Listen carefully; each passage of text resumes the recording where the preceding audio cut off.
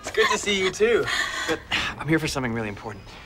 What do you know about a sword called Excelsior? There's a book all about it in our library. Oh, yeah, it's right there next to that book about the Ark of the Covenant. If you see a book about Atlantis or the Ring of Aeon, you've probably gone too far and need to turn around. My friends, I must now unfortunately welcome you to Power Rangers Operation Overdrive.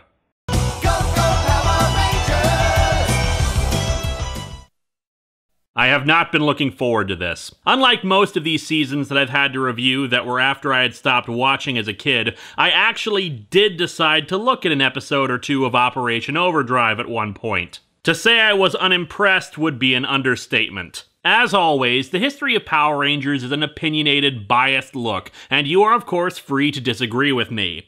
However, in my own opinion, Operation Overdrive is the absolute worst season of Power Rangers I have ever seen. Everything that has been wrong in previous seasons is clumped in here. The music is atrocious, the acting mixed at best, the pacing is awful, the fight scenes exemplifying the worst of the Kalish era, the team up is saved only by the presence of the previous Rangers, and the characters are the absolute worst Rangers I've ever seen. However, that's just my opinion. It's okay if you like the series, but man oh man, I don't. I admit, I was probably too harsh with Turbo. I walked into it not wanting to like it, never liked the car theme as a kid, upset that they changed the cast. But there's a lot of good things about Turbo. The fight scenes were still awesome, the music glorious, and there were some really good episodes like Cars Attacks, which featured probably the best coda I've ever seen on an episode. A moral message that is so much more sophisticated than what I'd expect from Power Rangers that it's still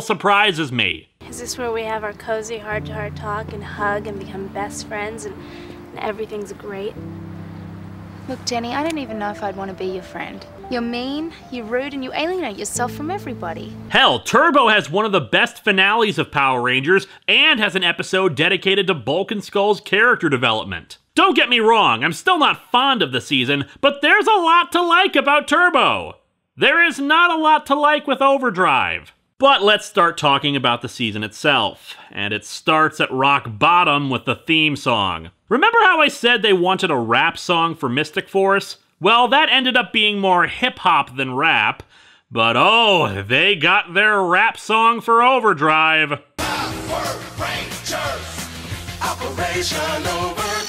Like five fingers reaching for the sky in five ways. Five heroes walking through the sun for five days. This is, simply put, one of the worst songs I've ever had to listen to. It's atonal. The lyrics don't go with the beat. The beat itself just grates on your mind every time you don't want it to. If this song was a person, I would strangle it, burn the body, and proudly declare to the world that I had done it, and no jury would convict me.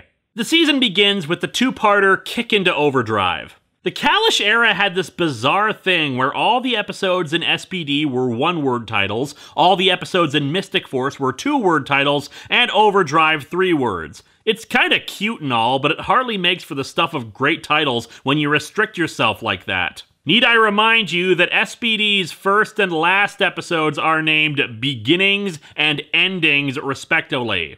The opening scene is, well, enjoy. I flew to Kuala Lumpur in a private passenger jet. Reclining seats, great food, and a very cute flight attendant. Welcome on board Air Baron von Gerstein, my young friend. I'm afraid I have some very bad news.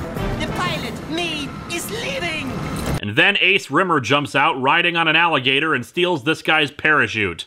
At least that's what I wish happened. In fact, it plays out in a similar way until this kid, Mac, falls out of his hammock. Yep, opening scene of the series, and it's a daydream as he reads a cheesy adventure novel. Spencer, any word from Dad? Why can't I ever go with him on any of his archaeological adventures? Well, perhaps when you've mastered the hammock, sir. He's living in his father's mansion with Alfred here. In particular, Mac's father is looking for, and found, an ancient crown called the Corona Aurora. Unfortunately, Indiana Jones here forgot to actually try to pull a switch for this thing and sets off a booby trap. You know, you'd think ancient civilizations would just, I don't know, bury their long forgotten artifacts and then collapse the cave they put them in. I mean, if they're capable of hollowing out caves and setting up big pitfalls like this and elaborate booby traps to prevent their capture, it would be far simpler to merely collapse a mountain on top of it. Hard for anybody to recover it if there's millions of tons of rock on top of it, is all I'm saying. It's especially important because this particular booby trap sends a signal to other planets, waking up the villains Flurious and Moltor. Tomb Raider here is named Andrew Hartford, and he also awakens a being called the Sentinel Knight, who gives him instructions on what to do because he screwed the pooch and woke up great evil with his treasure hunting. We cut to six months later in Hollywood, California, or rather Hollywood, New Zealand, and the set of a kick ass Matrix ripoff. Here we meet Dax Lowe, and oh, come on, what douchebag did that? He's a stuntman! Stuntmen are incredibly valuable in Hollywood. He wouldn't get his own damn chair like that, but they're not gonna mock him for it, mostly because they know he can kick their asses. Stuntmen get set on fire for crying out loud. You don't screw with them! Oh, but it's fortunate he has his own tiny chair because Andrew Hartford has called upon him. Next, it's off to the Italian Grand Prix and Veronica Robinson, also affectionately called Ronnie.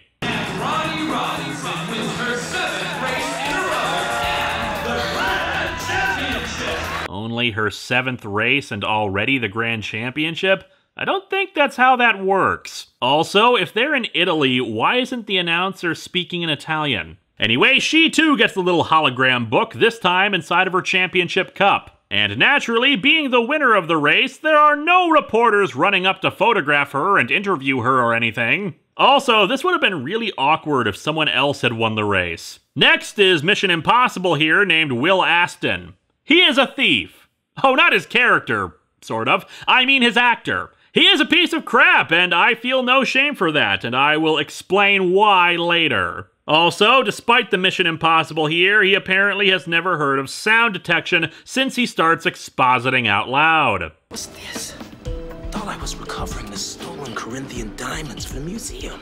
But instead, Hartford explains this was a test of his skill, and he was hired to go into his own vault. And finally, we cut to London and what I presume to be the Torchwood Institute, as Tony Stark's robot arm thing has gone crazy and is shooting lasers everywhere. Its creator, Rose Ortiz, calmly walks off and shuts it off because the rest of her assistants are morons. Hello, Rose.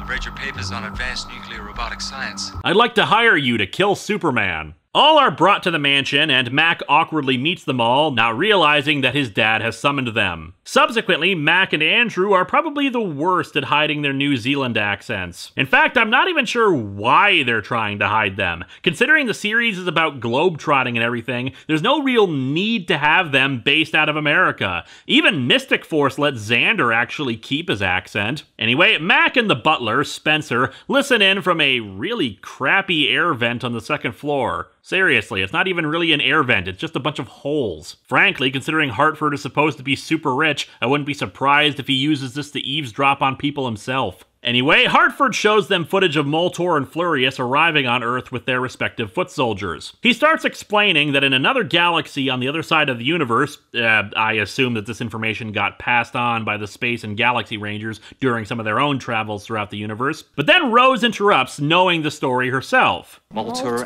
and Flurious. Who tried to steal the Corona Aurora. The crown was so powerful, changed their appearance and sent them off to distant planets, imprisoning them in their own elements. Wow, the Corona Aurora really has a sense of humor. But really, the two should have known that would happen considering their names. It's a basic comic book rule. If your name sounds like anything, you will be a supervillain. Then again, Flurious and Moltor are kind of showmen in their own ways.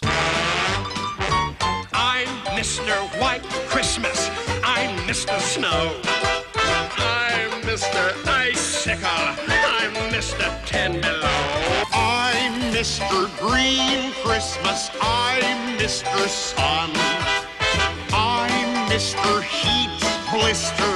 I'm Mr. 101. So, how does Rose know this? I took a year of ancient universal legends at Harvard. Oh, yeah, I heard about that course. It was headed by the same guy who did the lecture series Universal Conquerors from Lord Zed to Lothor. Hartford further explains that the Sentinel Knight, the guardian of the crown, took the five jewels that covered it and sent them off to a distant planet for safekeeping. You know, for a guardian, he really kind of sucks at his job. He lets two guys manage to reach the thing, then instead of finding a better hiding spot for the Corona Aurora, or hell, even scattering the five jewels all over the universe, he puts them on one planet Earth. Now, this.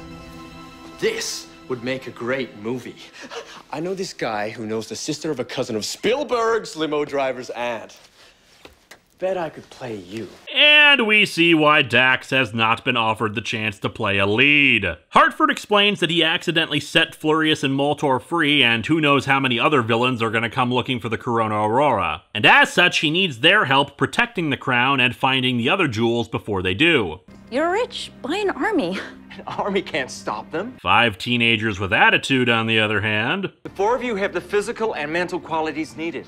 A stuntman, a thief, an admittedly intelligent college professor, and a race car driver. You know, at least when Lightspeed Rescue recruited civilians, they at least had some rescue professionals in there. And I have the technology and the money to fight this evil. I can turn you into Power Rangers.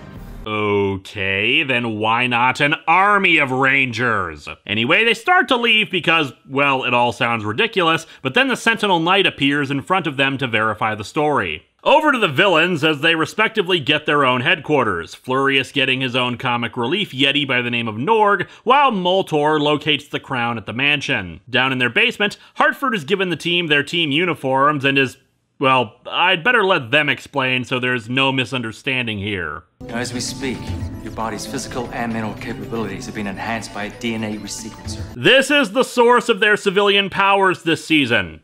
Our mentor character is screwing around with their DNA through genetic manipulation devices that he has in his fricking basement. I know it's been only a minute or two since I last showed that clip, but expect me to keep using it to illustrate this point. You're rich. Buy an army. I mean, we don't even get a token explanation for why we can only have these people as rangers. Or hell, hire mercenaries and have them at least get the genetic enhancements so they can provide support. Now, most of you would respond, well, we can't have mercenaries in a children's show. To which I say, don't write your story with plot holes that even a child could see through! That being said, Andrew says he's not going to let them do anything that he wouldn't do himself. Thus, he will be the Red Ranger and steps in to get his genes scrambled too. However, before he has the chance to become the subject of a David Cronenberg movie, Mac steps out of the elevator and wonders what the hell is going on. Great security there, Hartford. Starting to think Will Aston didn't have to do very much to break into your vault. Mac volunteers to join the team, wanting to help, but Hartford is against it. Not sure why the hell he kept it a secret or how he expected to keep it a secret, but that's the tiniest of holes in this premise. The rest of the Rangers go topside and try to figure out their powers. Will discovers them first with enhanced hearing and telescopic vision. It's telescopular. Telescopular? That's not a word. Maybe not, but that's what it is. You are an idiot. Moltor's forces launch an attack, and the four are quickly tossed around. Will and Dax, being the ones with actual experience in physical activity, do better than the others. At least until the civilian powers kick in. Ronnie gets super speed, Dax super agility, with laser sound effects when he kicks people, of course, and Rose can turn invisible. You know, you'd think if he can manipulate their DNA to give them superpowers, he would give them all the same varied powers. Versatility is all I'm saying. The group retreats on vehicles, presumably with the crown with them, and they run into Flurious's forces, also sent to retrieve the crown. Hartford gives them their morphers, called overdrive trackers, and tells them that the activation phrase is overdrive accelerate. He's about to join them, but Mac stops him once again, declaring he wants to help.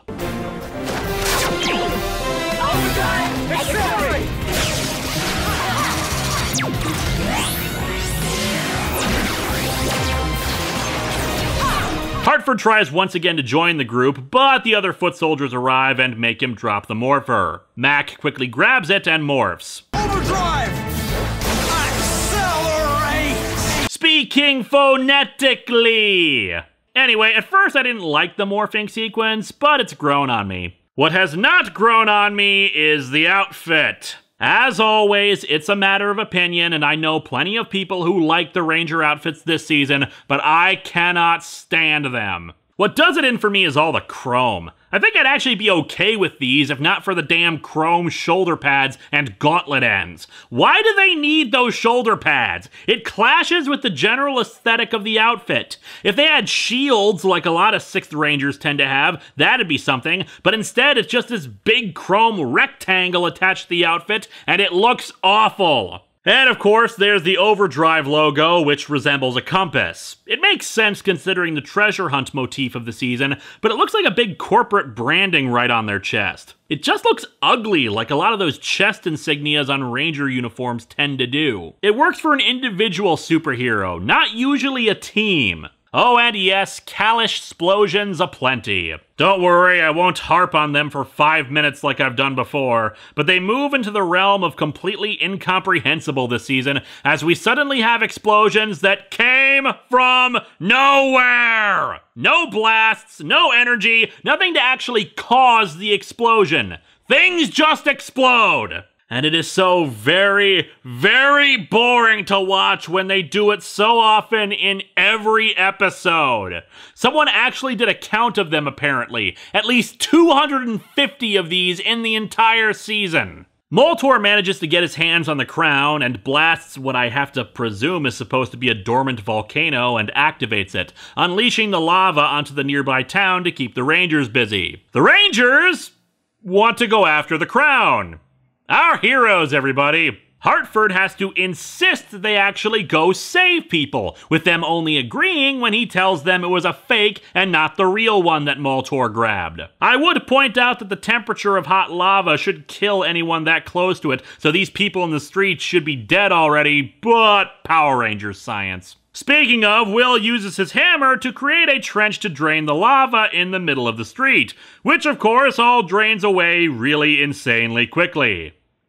Aha. Uh-huh. Oh yeah, and the black guy is once again the Black Ranger. I guess in 2007 that was suddenly okay to do, but it wasn't okay to kick something unless it sounded like a laser. Hartford and the others compliment Mac on a job well done, but Hartford still takes away the morpher. Unfortunately, we get another example of the great Hartford security system, as Moltor is already behind him and gets away with both him and the real crown. Mac is naturally depressed about not getting to be a ranger. My father's kept me sheltered my whole life. And now the one chance I have to prove myself, I do. And he takes it away. Spencer says that the only thing his father is afraid of is his losing him and wants him to be safe. That being said, there's a clever bit of foreshadowing here. So if sometimes you feel like just one of his possessions, Remember that with all his wealth and his treasures, you are the one thing that to him is irreplaceable.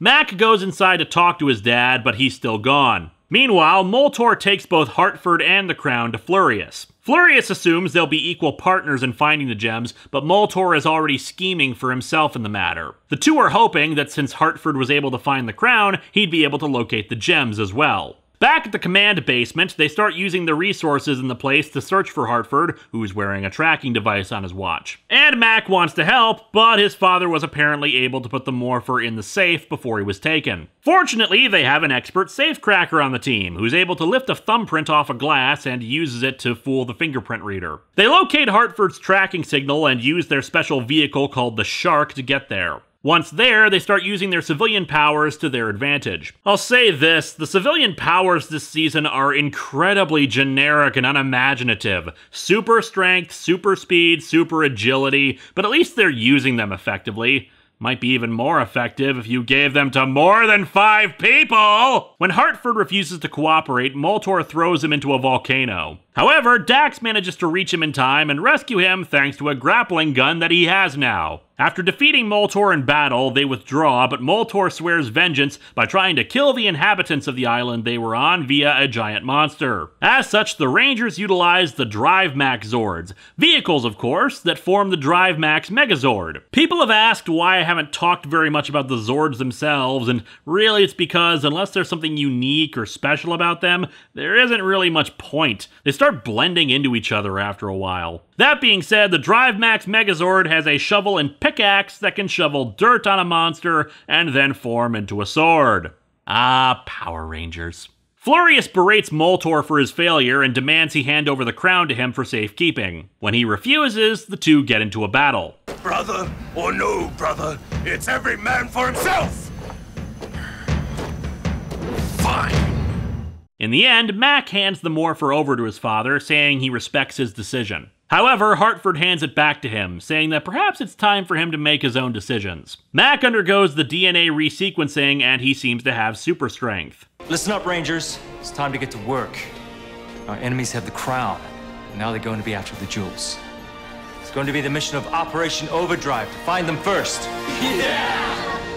Oh, and I'm sure you'll do a bang up job of hanging on to them. I mean, you've done great so far. Kick into Overdrive reminds me very much of Operation Lightspeed, but without a lot of the grandeur that made it work. People from different fields, but experts in said fields, being called upon to become Power Rangers, say for Mac, of course. Aside from the fact that Operation Lightspeed was a lot more dignified in talking about the honor and responsibility of becoming Power Rangers, the choices for Rangers made a lot more sense there. The least likely members of the team were Kelsey and Joel, but there were arguments to be made for both. Kelsey was an extreme sports athlete, which meant she was involved in a lot of on her feet thinking and physical activity that comes with being a Power Ranger. Joel was a stunt pilot and therefore probably had the most vehicle certification and experience in flight. Considering Ronnie was practically drooling over the vehicles that she saw, she's probably meant to be the vehicle expert for this team, but there's a big difference between planes and race cars. And don't get me wrong, race car drivers require a lot of knowledge and skills themselves, it's just driving a car and flying a plane are very different things. Yet Ronnie was skilled in piloting the Shark, and her qualifications for Rangerhood are drives cars faster than other people. Dax's experience is as a stuntman, and while he clearly has knowledge of martial arts and parkour, stunt fighting is not the same thing as real fighting. If you wanted someone trained in those areas, why not get an actual athlete? The bigger issues overall with the episodes are a sense of been there, done that with these character dynamics and plot. We've already seen the Sun slash Other Ranger doesn't want Red Ranger to be Red Ranger handled in Time Force and done a lot better since the issues seen here were pretty much resolved right off the bat while they took half a season to develop and work on in Time Force. And they didn't have the problem of trying to hide their accents while they were acting. The villains aren't particularly compelling so far, just two evil forces wanting the Corona Aurora because evil. We're not given any info on the Sentinel Knight, not even his name, but I decided to give it early just for ease of summary. Or how the hell he's just a big glowing ghost. The morphers are neat. One could mistake them for cell phones, but they open differently than most phones, and the morphing is activated by flipping the cover to the side, spinning a wheel, usually on a metal surface for friction, and then projecting the energy out in a little hologram thingy. I mean, they're not just tapping three numbers on their phone and bam, Ranger mode. It's kind of clever, I like it.